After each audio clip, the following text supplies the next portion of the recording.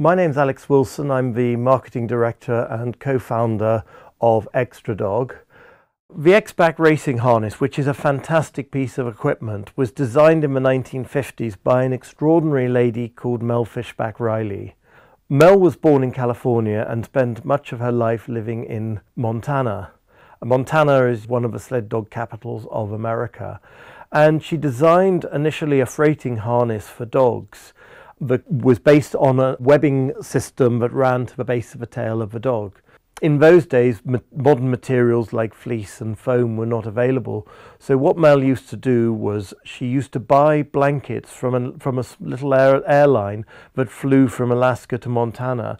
And she used to use the blankets and she used to sew the blankets to the inside of the harness. So if the dog was traveling over distances, it was soft against the dog's skin and it wasn't going to chafe the dog because a lot of these dogs may travel for three, four hundred miles in one stretch over a few days.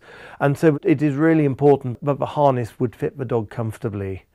Today, these harnesses are still handmade in Montana. Unfortunately, Mel Fishback Riley is no longer with us, but her husband, who was a well known sled maker, Lee Fishback, and wrote a fantastic book called Training Lead Dogs. Um, his apprentice was a young man called Jack Beckstrom, who was also rather well known in Montana as he was quite a famous long distance sled dog musher and competed in the race to the sky on many, many occasions. Um, Jack now owns the business, which today is called Adanac Sleds and Equipment, and the harnesses are still handmade in Montana.